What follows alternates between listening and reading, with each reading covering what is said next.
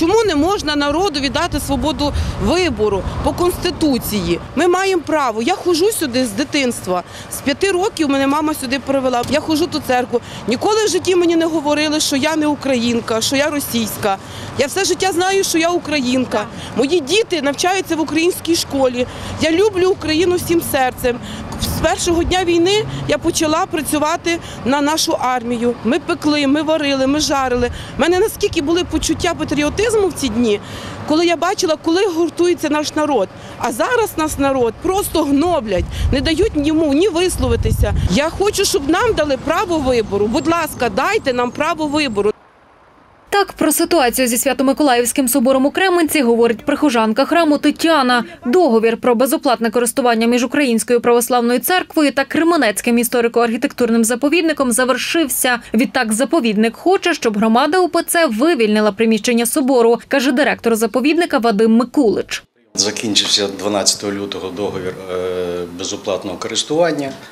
На цей період до цього часу священники Свято-Миколаївського собору відмовляються залишити е, державне майно, власне приміщення. Тому заповідник підготував позов до господарського суду і 4 квітня буде засідання господарського суду.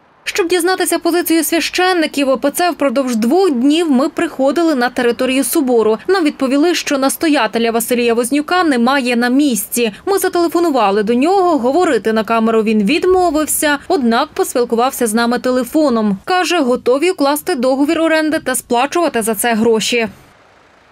Спитайте в діазу, чому вони не дають нам користуватися те, що надбано нами, нашою громадою за 200 років. І тим більше з 1991 року, коли ми стали юридичною значить, особою. Василій Вознюк розповів, продовжують служити в соборі. На запитання, що робитимуть далі, виїжджатимуть з приміщення чи ні, відповідає так. Ми в закон в законному руслі, ми в правовій державі.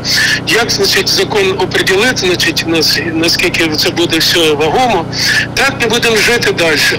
Офіційний коментар про користування Свято-Миколаївським собором є й на сайті Тернопільської єпархії УПЦ. У ньому йдеться, що оскільки собор є пам'яткою архітектури національного значення, без рішення Міністерства культури передати майно Кременецькому заповіднику не можуть. Ми надіслали інформаційний запит у Мінкульт, щоб дізнатися, чи планують продовжувати договір оренди з громадою парафії святителя Миколая УПЦ. Чекаємо відповіді. На сьогоднішньому брифінгу обласної військової адміністрації начальник Нацполіції Тернопільщини Олександр Богомол сказав, що щодо собору також є кримінальне провадження.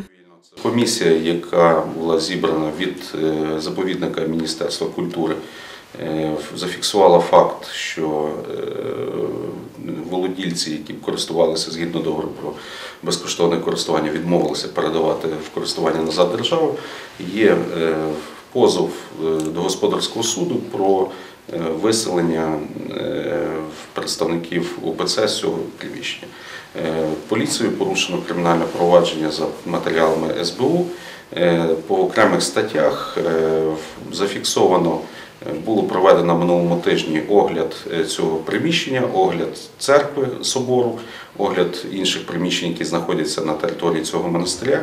Зафіксовано окремі зміни в архітектурі, використання земельного землі володільцями. Відповідні будуть процесуальні рішення прийняті після проведення експертиз. Також ми поспілкувалися з жителями Кременця. Вони про ситуацію зі Свято-Миколаївським собором кажуть так. Я знаю, українське повинне бути в Україні, так? Більше я не знаю нічого казати. Тільки на українську переходити. Тільки. Моя думка одна. Мій швагро, а мене зять, мої всі на війні, і я тільки за Україну, щоб була Україна. Українська церква. Має бути українська церква, тільки українська церква. Московського патріархату не повинно бути в Україні. Богдана Савицька, Андрій Бодак, Василь Панчук, Суспільне новини, Тернопільщина.